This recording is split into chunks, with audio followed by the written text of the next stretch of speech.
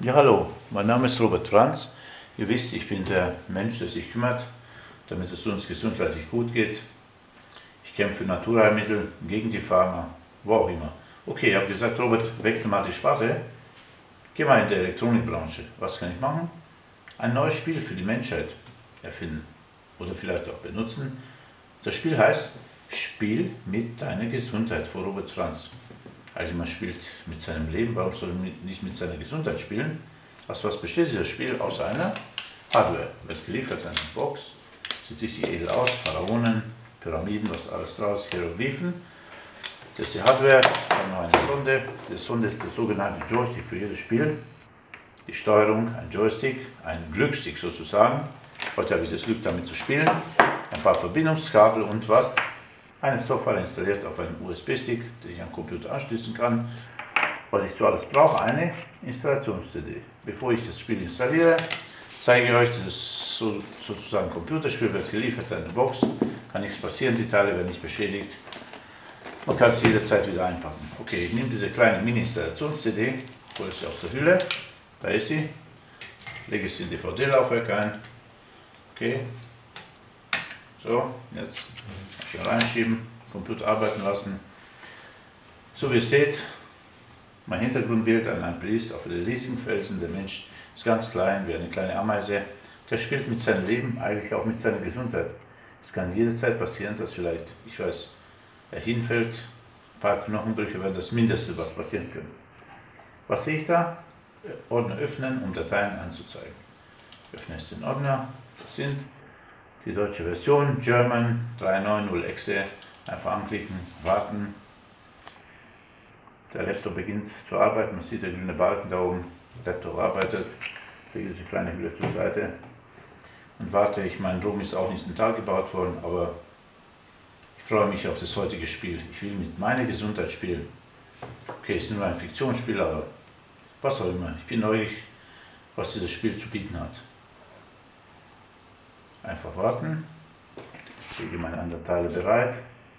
Okay, was passiert jetzt? Nachdem er angezeigt hat, drücke ich jetzt die rechte Maustaste auf den Icon German Exe, rechte Maustaste. Was nehme ich? Als Administrator ausführen. Klicke auf Administrator ausführen. Und jetzt arbeitet das DVD-Laufwerk, jetzt wird die Software einfach installiert.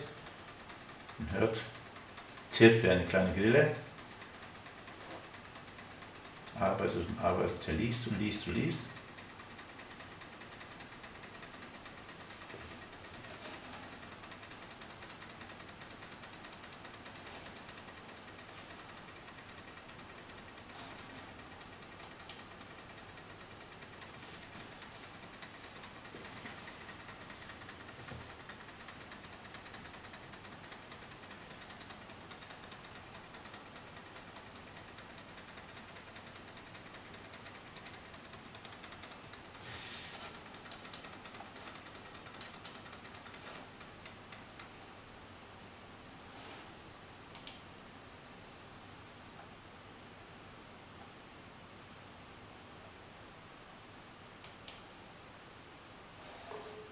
Okay, und da ist es. Möchten Sie zulassen, das folgende Programm, Änderung auf diesem Computer, klar, ich will das spielen, Computer ist die einzige Möglichkeit, das Spiel zu spielen, ja, und jetzt beginnt die Installation, Willkommen Installationsassistent. Was mache ich? Ich drücke einfach weiter, okay, nochmals auf weiter und jetzt einfach installieren. Sieht man, die Dateien werden dekomprimiert, die werden ganz schnell installiert, es geht ganz schnell. Sind ja, glaube ich, das ganze Spiel hat nur glaube ich, 34 MB, Megabyte, schafft jeder kleine Computer fertigstellen. Was machen wir jetzt? Und schon das ist eigen erschienen, kleine Eigen, spielen mit der Gesundheit. Was mache ich? Lege es Sonde zur Leiste und was mache ich? Jetzt schließe ich einfach die Hardware an. Ich habe jetzt die Sonde, ich habe den Verbindungskabel, da habe ich meinen kleinen Hardware. Ich nehme diese Sonde, ich fahre jetzt rein, so ist die Sonde verbunden, man kann auch die Stecker nicht vertauschen. Da einen USB-Stick, ich nehme diesen anderen, schließe jetzt an, okay, so, ist verbunden und jetzt suche ich noch einen freien USB-Anschluss, den habe ich da und was habe ich da? Noch für die Software entferne ich den Deckel, das ist da drüben, okay, und jetzt haben wir es, alles klar. Die Hardware ist angeschlossen. Ich spiele mit der Gesundheit. Ich öffne das Icon. Draufklicken. Es dauert jetzt, wird geladen. Es scheint schon das Icon unter. Ich habe schon die Oberfläche zum Spielen. Was mache ich? Ich gehe auf das hier und trage mich ein als Spieler. Okay, klicke drauf. Okay, klicke auf Plus und hinzufügen. Ich füge mich jetzt dazu. Mein Name, wie ihr wisst, Robert Franz. Ich schreibe einfach Robert. Ich will keine private Daten weitergeben. Geschlecht natürlich männlich. Geboren am 19, 19, 19, 19, 5. und Geburtsjahr 1960. Perfekt. Wie hoch bin ich? Ich war 1,87, okay. Man wird auch nicht jünger. Bin vielleicht gestumpft, machen wir 1,86 Meter. Okay, es wird weniger Computerspielen, wo die Höhe des Spielers, das Gewicht des Spielers verlangt wird, aber okay, ich mache halt mit, es ist ja nur ein Spiel. Okay, Gewicht, ich habe und zwar 98 Kilo, 9,8. Okay, und was mache ich? Speichere ich diese Daten, einfach speichern. Okay, jetzt warte ich, was steht Scheit? Robert Franz, 98 Kilo, schwere, übergewichtig. Hm. Ich fühle mich aber wohl in meiner Haut. Okay, ist ja nur ein Computer. Männlich 1,86. Was mache ich? Ich gehe auf Test, drücke Test und was mache ich? Ich drücke auf Start, was verlangt mit der Computer? Spiel beginnen. Was muss ich machen? Diese Sonde, okay, diese kleine Sonde, einfach in die Hand nehmen. Sie leuchtet jetzt schon rot. Okay, wir haben sie. Ist angeschlossen, überall, Anschlüsse sind drinnen. Was mache ich? Test beginnen. Und jetzt beginne ich den Test.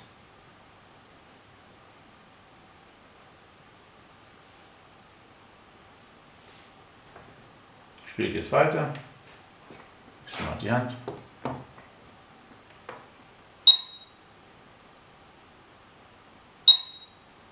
Und sind ein Signal. Was passiert denn da? Ja, ich mache halt mit. Ich schaue mir die Bilder an. Sieht aus, als wird mein Körper gescannt. Da zeigt sich ein Herz. Wahrscheinlich scannt dieses Spiel jetzt mein Herz. Oh, was ist da?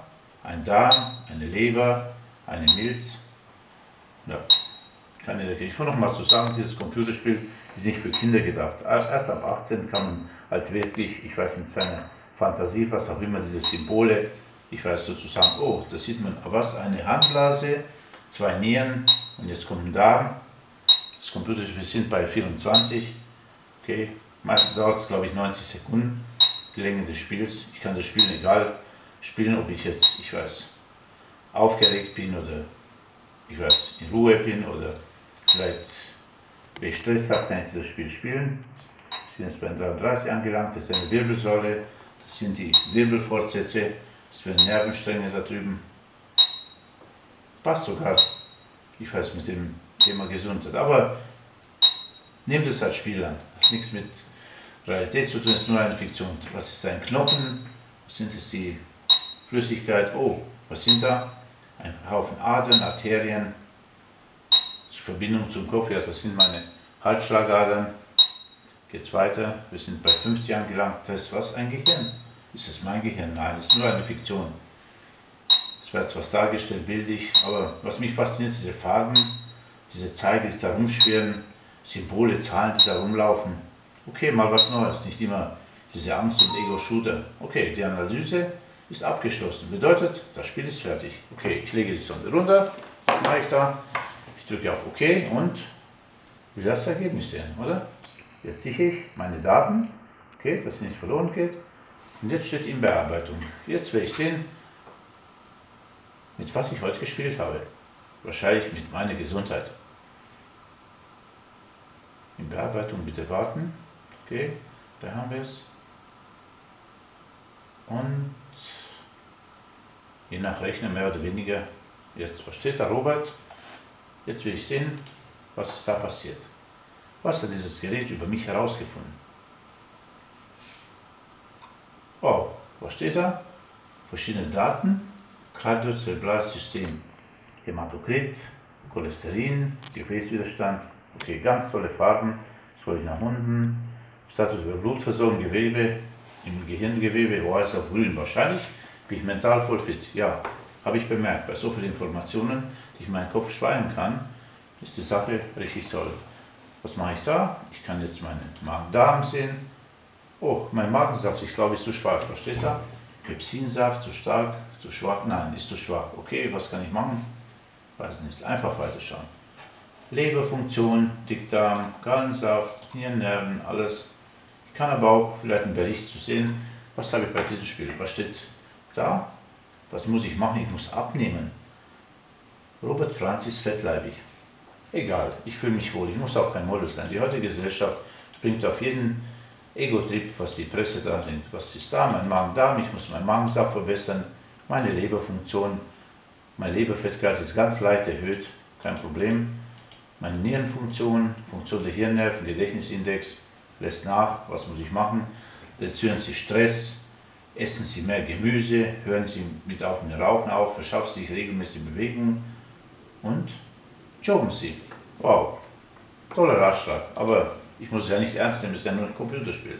Meine Knochendichte, Knochen, Knochenwachstum, Blutzucker, Spurenelemente, was ist statt Eisen, Kupfer, Silizium, B1, B3, Vitamin C, Vitamin K, Schlafen, was ist da, Aminosäuren, Fische, Tintenfisch, Kraken, Aal und Steinbeißer. Okay, ich bin halt, mehr oder weniger will ich Vegetarier werden, dann lasse ich halt mal die Fische leben. Immunsystem, Hämotoxine, Schwermetalle, allgemeiner Zustand, mein pH-Wert, was steht da? Bin ich denn sauer? Nein, ich bin jetzt überhaupt nicht sauer. Ich finde es richtig toll, mit so einem Spiel zu spielen. Okay. Und was mache ich jetzt? Ein neues Spiel. Ich will wieder spielen. Ich nehme wieder mich, ist eingegeben, Protokoll anzeigen. Okay, Robert hinzufügen. Das habe ich. Okay. Und jetzt Protokoll anzeigen. Bin ich da wieder. Ich kann so oft spielen, wie ich will. Das macht richtig Spaß. Und deshalb werde ich jetzt wieder neu spielen. Mache ich einfach zurück und Test, mache einen neuen Test und was mache ich? Ich lege wieder los. Und deshalb wünsche ich jedem viel Spaß beim Spielen. Mit dem neuen Computerspiel Robert Franz. Spiel mit deiner Gesundheit. Wow. Früher haben sie den Menschen Brot und Spiele gegeben, um sie zu verdummen. Hoffentlich schaffe ich mit diesem Computerspiel die Menschen intelligent zu machen, zu denken, was ist Gesundheit. Und unsere Gesundheit ist nur ein Spiel. Aber es bedarf zu spielen und nicht nur rumzureden und nichts zu machen. Okay, bis zum nächsten Mal. Viel Spaß mit meinem Computerspiel.